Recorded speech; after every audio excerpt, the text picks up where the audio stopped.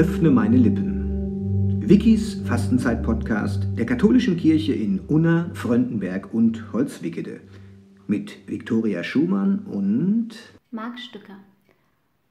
Heute begehen wir den Montag der ersten Fastenwoche und heute begehen wir auch das Fest der Kathedra Petri. Marc, was genau bedeutet dieses Fest? Ja, das Fest Kathedra Petri erinnert daran, dass Simon Petrus als Apostel und damit auch als Vorgänger der römischen Bischöfe eine ganz besondere Rolle in der Kirche hat. Im Matthäusevangelium, da wird Petrus als der erste Jünger herausgestellt, der Jesus auch als den Messias erkennt und auch benennt. Es wird erzählt, dass Jesus selbst Petrus die Schlüssel des Himmelreiches übergibt, dass er, also Petrus, die Macht bekommt, auf Erden und im Himmel zu lösen und zu binden. Und so hat Jesus Simon Petrus als den Fels, als das Fundament, die feste Grundlage bezeichnet, auf die er seine Kirche bauen will. Und das Fest Kathedra Petri rückt einerseits Petrus als Lehrer der Kirche in den Mittelpunkt, aber auch seine Nachfolger, die römischen Bischöfe das sind die Päpste. Dem Papst wird zusammen mit der Versammlung aller Bischöfe die höchste Lehrkompetenz in Glaubensfragen zugeschrieben.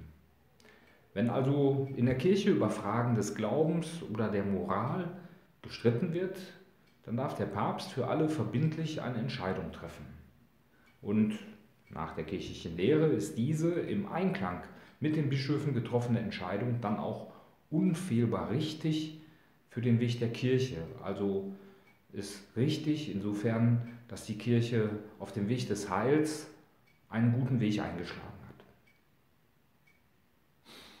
Petrus als Lehrer der Kirche, naja, derselbe Petrus ist es, zu dem Jesus auch dann schon mal gesagt hat, weg mit dir, als er ihn davon abbringen will, seinen Leidensweg auch wirklich zu gehen. Derselbe Petrus ist es, der Jesus dreimal im Haus des hohen Priesters verleugnet und durch einen Hahn schmerzhaft daran erinnert wird. Derselbe Petrus, der anders als Jesu Mutter Maria und anders als Johannes nicht unter dem Kreuz bei Jesus aushalten kann, mit dem sich der auferstandene Jesus dann erst wieder versöhnen muss am See Genezareth, als er ihm aufträgt, weide meine Schafe, pass auf die Menschen auf, die meine Jünger sind. Und es ist auch derselbe Petrus, der dann gegenüber Paulus später Fehler einräumen muss im Umgang mit den Heidenchristen. Und die, also die Heidenchristen, dann auch als gleichwertig akzeptiert. Ja, und ich bin wirklich froh, dass Petrus, unser Lehrer im Glauben ist, einer, der selber eine Menge Fehler gemacht hat und daraus lernen konnte. Und da würde ich mir wünschen, dass gerade unsere Bischöfe auch bis hin zum Papst sich von ihm mehr als nur ein Scheibchen abschnitten, wenn es auch um die Fehler der Kirche geht, um die Anerkennung dieser Fehler und daraus etwas zu lernen. Dankbar bin ich auch, dass Jesus selber dann im Evangelium zu seinen Jüngern sagt, lasst ihr euch nicht Rabbi oder Lehrer nennen, denn nur einer ist euer Lehrer, das bin ich selbst, das ist Christus. Marc, meine Frage. Gab es für dich im Leben äh, besondere Menschen, die nach dem Vorbild Jesu Christi gelebt haben und die für dich so Vorbilder im Glauben gewesen sind?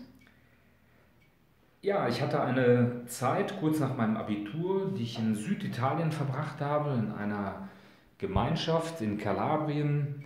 Und die Brüder und Schwestern, die dort gelebt haben, die haben ihre Arbeit und ihr Gebet und ihre ganze Lebensweise wirklich sehr glaubwürdig verbunden mit dem Glauben, den sie ja, in sich trugen, den sie auch ähm, wirklich ähm, glaubwürdig bezeugt haben. Und das hat mich immer fasziniert und hat mir auch eine Menge Orientierung gegeben in meinem Leben.